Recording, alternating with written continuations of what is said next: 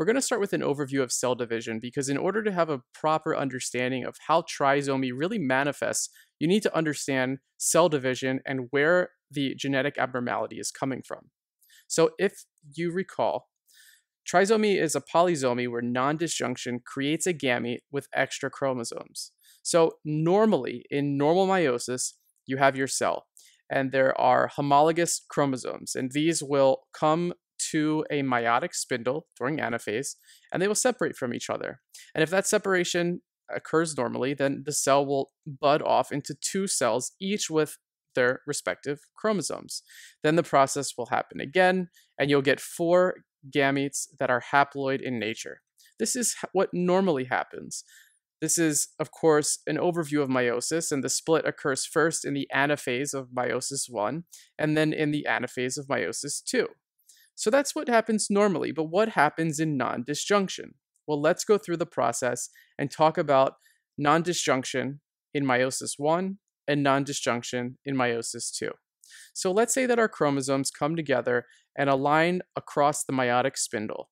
In anaphase, they should split apart so that they can move in the direction of the budding cell. So they move apart, but in non disjunction, specifically in non disjunction of meiosis 1, homologous chromosomes do not separate properly. And what you end up getting is too many chromosomes on one side of the budding cell. So when the cell splits into its two different cells, you have this. You have three chromosomes in one and one chromosome in the other. Then, of course, you have to align across the meiotic spindle in meiosis 2 and repeat the process in anaphase. When the split happens again, what you get is this. And what we call this is n plus 1, n plus 1, n minus 1, and n minus 1. That is to say that if non-disjunction occurs in meiosis 1, you get two cells that are trisomy. Two cells have n plus 1 when they should just have n. So this is what happens when non-disjunction occurs in meiosis 1. Again, if the homologous chromosomes do not separate properly across the meiotic spindle during anaphase of meiosis 1, you get two cells that are trisomy in nature, which is to say that you get two cells that are n plus 1. And then just high yield to know as well, you get two cells that are n minus 1. So non-disjunction in meiosis 1 is 2 trisomy. But what happens if you get non-disjunction in meiosis 2? Well, let's do that example now. So the first split occurs properly. The chromosomes, the homologous chromosomes align across the meiotic spindle, and in the anaphase of meiosis 1, they separate properly, and you get this. Now we're in meiosis 2 and we're at the anaphase stage again. So the chromosomes come to the meiotic spindle and now they should separate into their sister chromatids. So they try to separate during anaphase, but what happens if the cell on the right cannot pull apart, uh, pull apart those sister chromatids properly? If instead one does not pull apart, this is the result. And how do we label this? You have N and N on the two cells on the left, N plus 1 and n minus 1 for the two cells on the right. So that is to say that if non-disjunction occurs in meiosis 2, you get one cell with trisomy. So how do we summarize this? Non-disjunction in meiosis 1 is 2 trisomy, and non-disjunction in meiosis 2 is 1 trisomy. So whatever the meiosis is, it's just the opposite for how many cells are actually trisomic. So that's the high yield way to remember that. Now that you have an understanding of how cell division works and how trisomy actually comes about through the genetic cell division during anaphase, let's get into the specifics of each of the trisomy disorders so that you can understand the high yield symptoms that you'll see on your USMLE or your COMLEX. The three trisomies that classically present are trisomy 21, trisomy 18, and trisomy 13. These, of course, are Down syndrome, Edwards syndrome, and Patau syndrome.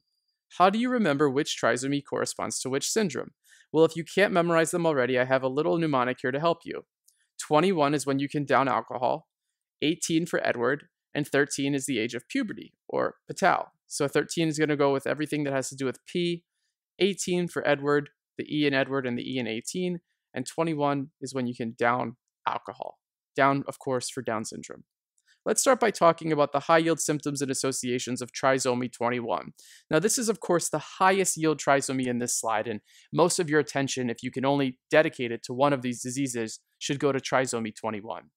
Trisomy 21 is has a lot of associated symptoms and a lot of associated buzzwords and images that they can show you on your exam to push you in this direction. So because of that, we need a really complex but useful and effective mnemonic to remember this. So I'm going to change the mnemonic slightly.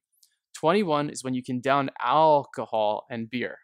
So we're going to use the letters in alk and beer to remind us what all the high yield symptoms are. So 21 and Down syndrome are only in the mnemonic to help you remember that trisomy 21 is Down syndrome. The ALK and the beer letters are what we're going to use for the slew of high yield symptoms and associations.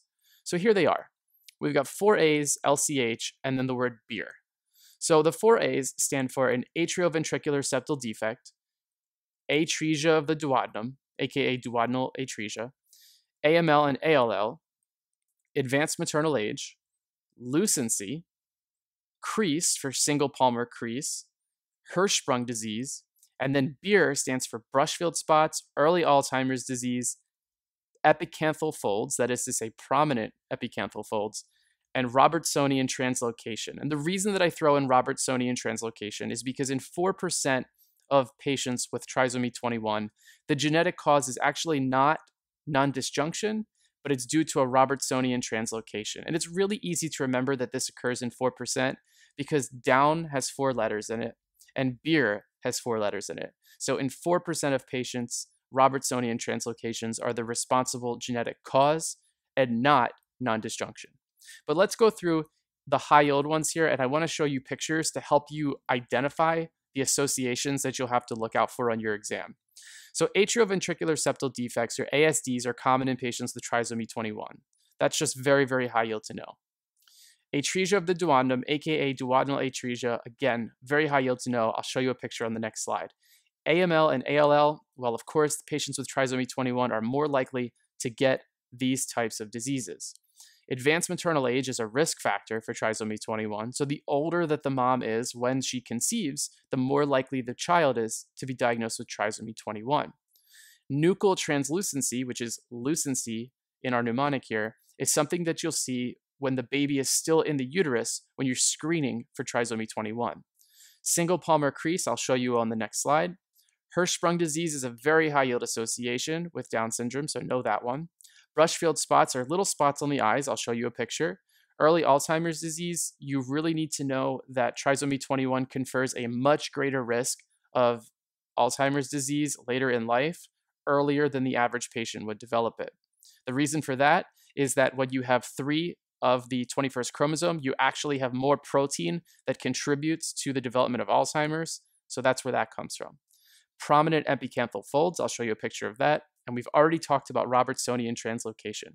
So I want to show you some pictures of things that if you see them on your exam, you need to instantly think trisomy 21 because there's going to be some connection between the picture or the buzzword in the vignette and what they want you to answer. So here are some things that are associated with Down syndrome. Brushfield spots are those little brightened spots on the eye that you see in that top left picture. If you see a picture like that, answer is Down syndrome, trisomy 21. Duodenal atresia, don't forget your double bubble sign if you see an x ray like that. The question could be asking you about GI physiology, but it also could be asking you something about genetics, such as trisomy 21. The epicanthal fold is the part of the skin that sort of is adjacent to the top of the eyelid that comes down and covers the duct at the medial portion of the eye. When that's really prominent, we call it prominent epicanthal folds. And if you see that you should have an increased suspicion for trisomy 21. So keep these pictures in mind. I've got a few more. Let's keep going. A single palmar crease, aka a simian crease, is when you have one horizontal crease on the palm. Now, most people have more than one, and just because you have one doesn't necessarily mean that you have Down syndrome. It's just commonly found in patients who do have Down syndrome. So, that simian crease or that single horizontal palmar crease is a very high yield association. Nuchal translucency, which in the mnemonic was just the L for lucency, is that space that you see uh, just behind the head when you're screening for this in utero. So if you see that nuchal translucency, it's very classically associated with Down syndrome. Those are the high yield pictures though, and this is the mnemonic. So once again, 21 is when you can down alcohol and beer. 21 and down remind you that trisomy 21 is Down syndrome, and ALK with four A's AAALCH for ASD, atresia, AML, advanced maternal age, lucency, crease, and Hirschsprung, and BEER for the brushfield spots that you see in the eyes, early onset Alzheimer's disease, prominent epicanthal folds, and in 4% of cases, Robertsonian translocations. Those are super high yield. That's why I included so many different associations on the slide. But if you can get that straight, you should get most, if not all, of your questions correct about trisomy 21. Let's switch gears and talk about trisomy 18, aka Edwards syndrome.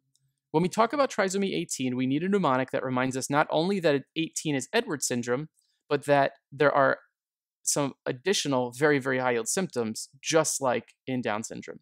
So the way that I remember this is, of course, 18 for Edward. The E's line up, and I know exactly which one it is. But taking it one step further, I remember the mnemonic Edward Scissorhands.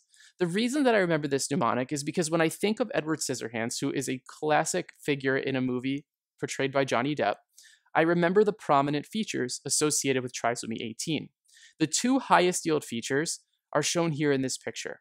One is Edward Scissorhands actually having a problem with his hands, and the other is Edward Scissorhands having such bushy and unkept hair that he has very low set ears. So the two high yield associations are, of course, low set ears, seen on the right, but clenched fists, seen on the left. So when I think of Edward Scissorhands, because he has scissors where his hands should be, it reminds me that the high yield symptom has something to do with the hands and that it is clenched fists.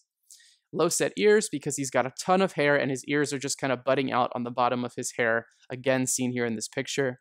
Low set ears uh, seen here on the right. Those are the two high yield symptoms. There is one more that you need to know. And to remember it, I capitalize the R's in Edward and Scissorhands to remind me of rocker bottom feet. So rocker bottom feet look like this. They're sort of an upslanting foot that's uh, not properly shaped.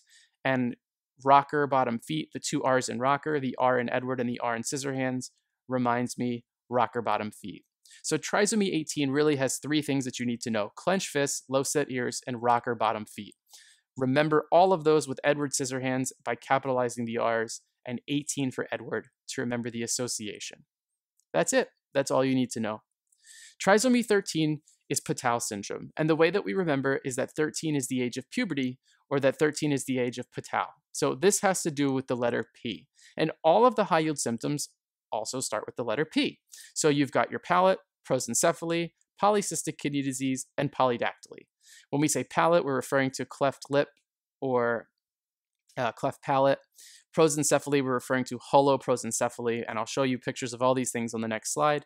Polycystic kidney disease is just that, and polydactyly means having more than five fingers. So the high yield associations that you should be looking out for on your exam is a cleft lip or a cleft palate, holoprosencephaly, where you fail to have encephalization of the brain, which is to say that the different lobes are not developing properly, which then in turn causes severe facial deformities that really are not too consistent with life. Polycystic kidney disease, look for the imaging where they show you cysts on the kidneys. It classically will be shown in a CT scan, but they might show you an ultrasound. They might show you some other modality, so just be on the lookout for that. Don't forget the association between polycystic kidney disease and berry aneurysms in the brain. And then polydactyly, of course, having more than five fingers. These are all symptoms of trisomy 13, and 13 is the age of puberty, 13 is the age of Patau, 13 is the P's, so palate, polycystic, polydactyly, and prosencephaly. Guys, if you can remember everything that I just talked about, you are golden with trisomy 21, trisomy 18, and trisomy 13.